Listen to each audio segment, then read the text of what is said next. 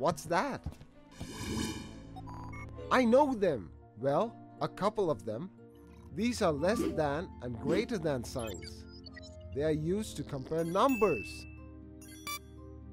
The rest of them? Hmm, let me guess. These two look like less than or equal to and greater than or equal to signs. Yup, that's right, bud. But about the remaining two, some alien symbols? Not alien, Python. They are equal to and not equal to signs. What? That's weird. We use only one equal to sign to mean equality. We already use that sign when we assign a value to a variable, remember?